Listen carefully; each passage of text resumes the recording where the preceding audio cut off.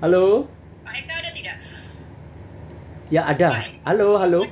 Oke, Pak Ya. Eka. Pak, Pak Eka tadi menyambung apa yang disampaikan oleh eh, Kanti. Ya, ya, Nah, boleh.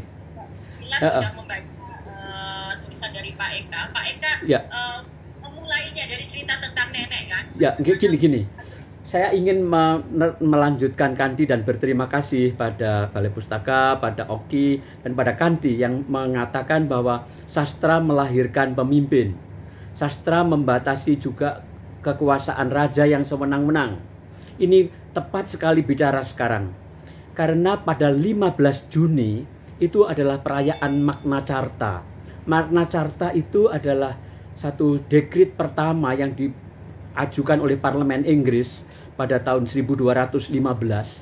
Jadi lebih dari 800 tahun yang lalu sastra sudah bisa membatasi kekuasaan raja yang sekarang membuat Inggris mempunyai pemerintahan monarki yang terkawal. Saya ingin menambahkan bahwa eh, kepemim ini dalam kaitannya dengan pembicaraan kita sore ini yaitu sains, sastra dan kepemimpinan. Eh, perkaranya adalah sastra bagaimana yang dilahir atau kepemimpinan bagaimana yang dilahirkan oleh sastra dan sains yang bagaimana juga yang dilahirkan oleh sastra. Tulisan saya akan membahas sains yang dilahirkan oleh sastra. Tapi sebelumnya saya ingin membatasi kepemimpinan pada masa corona ini adalah yang menurut penglihatan sastra yang manusiawi yang benar adalah kepemimpinan yang melayani. Jadi pada saat sekarang ini kita memerlukan pemimpin yang betul-betul mau mengerti penderitaan orang lain. Pemimpin yang melayani sesama manusia. Terus kemudian ilmu pengetahuan atau sains apa yang dilahirkan oleh sastra. Nah, ini yang lebih penting. Dalam essay saya, saya menulis tentang covidologi. Jadi sastra banyak dalam banyak contoh itu melahirkan ilmu itu dari dulu dan bencana juga melahirkan ilmu. Ketika Gunung Krakatau meletus, kita mendapat ilmu baru yaitu namanya vulkanologi.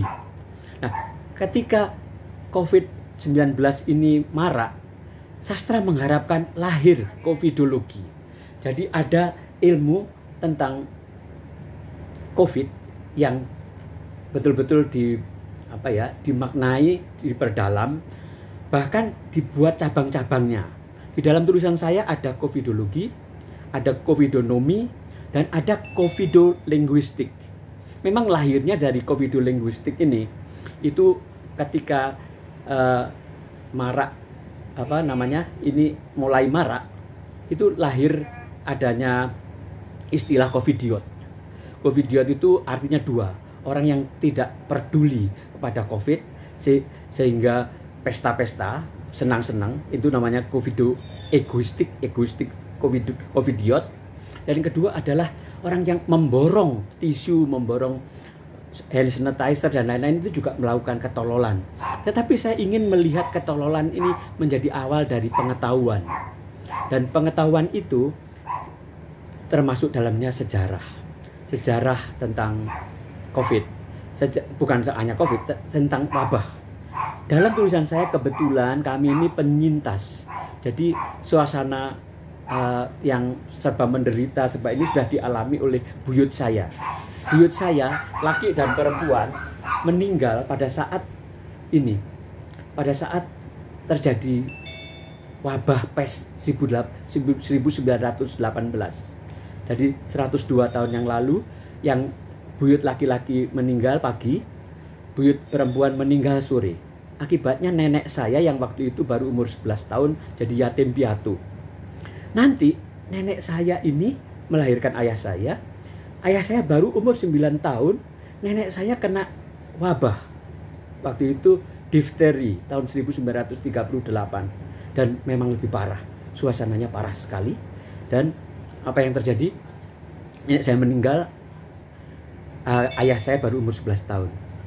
Kemudian selama dari tahun 38 sampai tahun ini tidak ada epidemi atau pandemi yang besar-besaran gini. Tetapi kita mengalami pandemi-pandemi kecil, epidemi namanya, yang ada demam berdarah, ada macam-macam di situ yang memang apa ya terjadi hari-hari.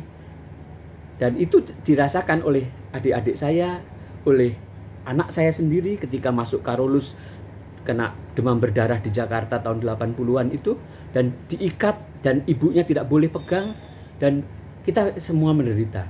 Meskipun begitu, penderitaan yang akibat virus corona ini jauh lebih besar. Kenapa? Karena virus corona tidak hanya menghancurkan keluarga. Virus corona menghancurkan logika. Bayangkan, dulu selama beribu-ribu tahun ada nasihat. Kalau mau jadi pahlawan, itu lakukan sesuatu yang berarti. Lakukan sesuatu yang berguna. Nah, sekarang kalau mau jadi pahlawan, jangan berbuat apa-apa. Tinggal saja di rumah. Ini kan betul-betul menghancurkan logika.